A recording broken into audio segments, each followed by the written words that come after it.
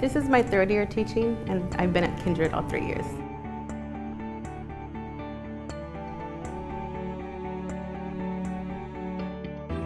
I was flattered. The three teachers who were on the ballot are people I really look up to, so I was just amazed that I was even on the ballot.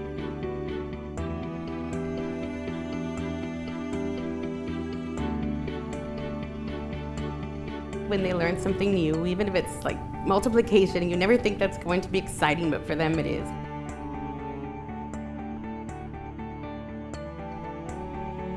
So I work around the clock at home, on the weekends, over summer. I love it.